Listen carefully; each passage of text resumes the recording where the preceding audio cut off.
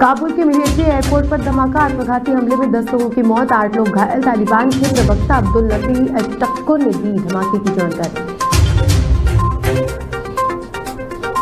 दुनिया भर में नए साल की धूम 2023 में म्यांमार ने चार घंटे से लिए के लिए कर्फ्यू हटाया। रूसी एस्ट्रोनॉट स्पेस में मनाया जश्न।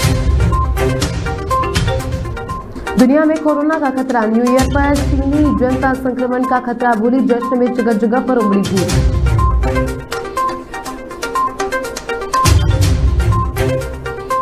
चीन में कोरोना महामारी की नई लहर ने मचाई तबाही। यहाँ पर कोविड से प्रतिदिन 9000 मौतें, जनवरी तक करीब 6 लाख लोगों के जान गंवाने की आशंका। देश में नए साल की धूम, पीएम मोदी ने देशवासियों की अच्छी सेहत की कामना की देश भर में नए साल की धूम देखी गई।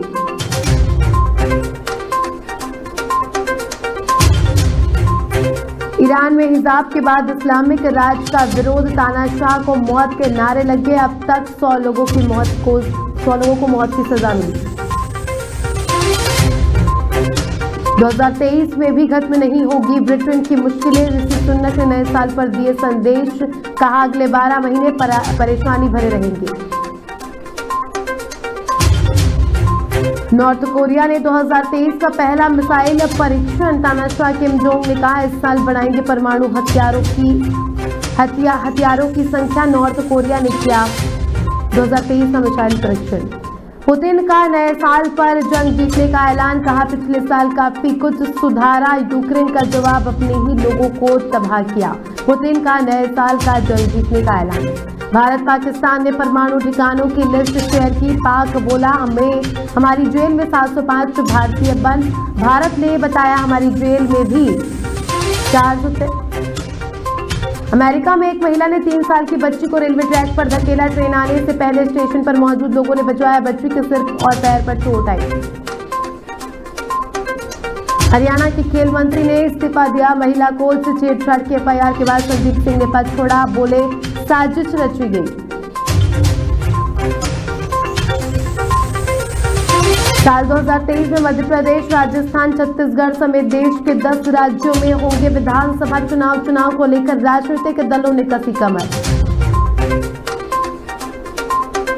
नासिक के मुंडगांव फैक्ट्री में लगी भीषण आग दूर दूर तक दिखे धुएँ का गुबार अभी किसी के हताहत होने की खबर नहीं।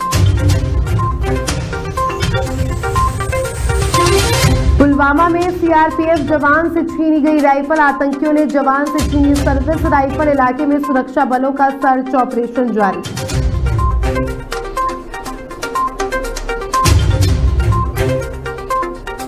दिल्ली से आई दिल को दहला देने वाली खबर, कार सवार लड़कों ने लड़की को चार किलोमीटर तक घसीटा। दिल्ली में सड़क पर लहू लुहान पड़ी रही लाश। एक दिवसीय वर्ल्ड कप के लिए twenty player shortage BCCI review meeting में द्रविड रोहित और चेतन शर्मा से टी ट्वेंटी वर्ल्ड कप हार पर हुए सवाल। धोनी कोहली ने दुबई में मनाया न्यू ईयर कप्तान रोहित शर्मा पत्नी के साथ मालदीव में रहे मौजूद।